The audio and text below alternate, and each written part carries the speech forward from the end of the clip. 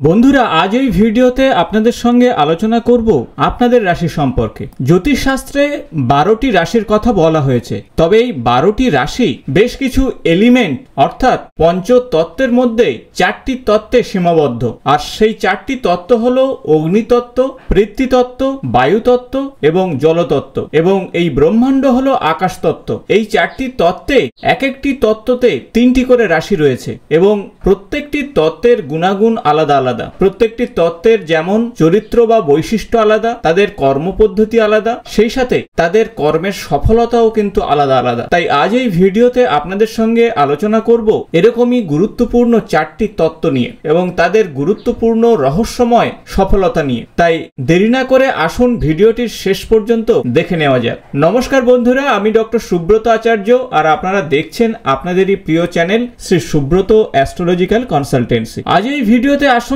জেনে নেওয়া যাক চারটি তত্ত্বের মধ্যে প্রথম যে তত্ত্ব তা হলো অগ্নিতত্ত্ব। এই তত্ত্বের মধ্যে তিনটি রাশি রয়েছে, যেমন মেষ রাশি, সিংহ রাশি এবং ধনু রাশি। প্রথমে জেনে নেব অগ্নিতত্ত্বের রাশিদের পজিটিভ বৈশিষ্ট্যের বিষয়ে। অগ্নিতত্ত্বের রাশির জাতক জাতিকাদের মধ্যে একটি স্পন্টেনিয়াস এনার্জি রয়েছে। তাদের জীবনকে সবসময় পজিটিভভাবে এগিয়ে নিয়ে চলে। তাদের উৎসাহের কখনো ঘাটতি ঘটে না। এই রাশির জাতক জাতিকাদের কনফিডেন্স লেভেল অনেকটাই উপরে এবং এদের মধ্যে রয়েছে অ্যাসার্টিভ বৈশিষ্ট্য, স্ট্রং সেলফ বিলিভ তাই সহজেই অগ্নিতত্ত্বের জাতক জাতিকারা মনোবল হারায় না। তাদের পজিটিভ আউটলুক এবং সেই সাথে কর্মক্ষেত্রে এগিয়ে যাওয়ার মনোবল সবকিছুই কর্মক্ষেত্রের শীর্ষে পৌঁছে দিতে পারে। নতুন কিছু ভাবার ক্ষমতা কিন্তু এদের রয়েছে। তাই এন্টারপ্রেনরশিপ হিসাবে এই তত্ত্বের জাতক জাতিকারা অনেকটা এগিয়ে থাকে। এরা ইন্ডিপেন্ডেন্ট এবং ইন্ডিভিজুয়ালিস্টিক নেচারের হয়ে থাকে।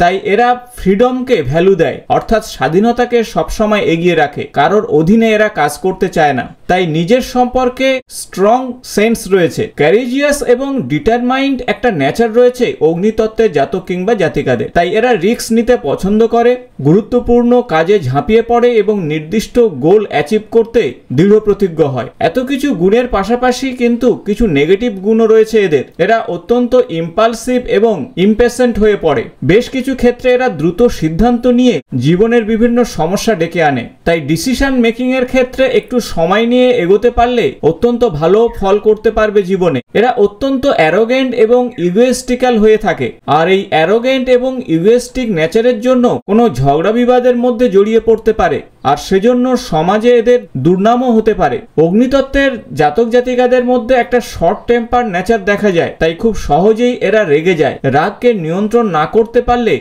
সম্পর্ক নষ্ট হতে পারে। স্ট্রং ডিটারমিনেশনের জন্য অনেক সময় ভুল সিদ্ধান্তের কারণে জীবনে অনেক বড় লস করে ফেলে। তাই সিদ্ধান্ত নেওয়ার আগে অবশ্যই অভিজ্ঞ মানুষের পরামর্শ কিংবা রিসার্চ ওয়ার্ক করা অত্যন্ত জরুরি। আগেই বলেছি, আপনাদের অগ্নিতত্ত্বের রাশির মধ্যে তিনটি রাশি অবস্থান করছে। সেক্ষেত্রে মেষ রাশি, যার চিহ্ন হলো মেষ এবং এই রাশির অধিপতি হল মঙ্গল। এরা অত্যন্ত ইম্পালসিভ ক্যারেজিয়াস কম্পিটিটিভ নেচার এবং ইন্ডিপেন্ডেন্ট হয়ে থাকে। তবে এদের মধ্যে অনেস্টি বা সততা রয়েছে এবং কনফিডেন্স লেভেল অনেকটা বেশি। এরা চ্যালেঞ্জ নিতে অনেকটাই পছন্দ করে। অন্যদিকে সিংহ রাশিও কিন্তু অগ্নিতত্ত্বের রাশি।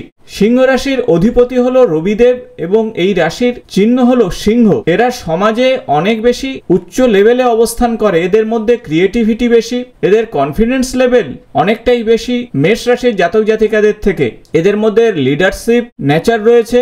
তবে পাশাপাশি মানুষকে নিয়ে বা নেতৃত্ব দিতে এরা পছন্দ করে। কিন্তু অ্যারোগেন্স নেচারের জন্য এরা মাঝে মধ্যে সমস্যায় পড়ে, তাই সে বিষয়ে এদেরকে সতর্ক থাকতে হয়। অগ্নিতত্ত্বের শেষ যে রাশি তা হল ধনু রাশি। এই রাশির অধিপতি দেবগুরু বৃহস্পতি এবং চিহ্ন হল ধনুর্বান এরা অত্যন্ত অপটোমেস্টিক হয় অ্যাডভেঞ্চার প্রিয় এবং স্বাধীনভাবে চলতে পছন্দ করে। এরা ফিলোজফিক্যাল এবং অনেস্ট হয়ে থাকে। এদের সেন্স অফ হিউমার অনেক বেশি এবং বুদ্ধির দিক থেকে অনেকটা এগিয়ে রাখতে পারেন। তবে রেস্টলেসনেস এবং উচ্চাভিলাষের জন্য মাঝে মধ্যে এরা সমস্যার মধ্যে পড়তে পারে। তাই সার্বিক দিক থেকে বলা যেতে পারে যে অগ্নিতত্ত্বের রাশির জাতক জাতিকারা যদি একটু সতর্ক থাকে এবং নিজেদেরকে একটু কন্ট্রোল করতে পারে, তাহলে সমাজের শীর্ষে উঠতে একটুও সময় নেয় না। আশা করব ভিডিওটি ইনফরমেটিভ হয়েছে, ভালো লাগলে লাগলে বন্ধুদের সঙ্গে অবশ্যই শেয়ার করবেন। পরবর্তী ভিডিওতে অবশ্যই আমরা পরবর্তী তত্ত্বের রাশি সম্পর্কে আলোচনা করব। আজ এই পর্যন্ত,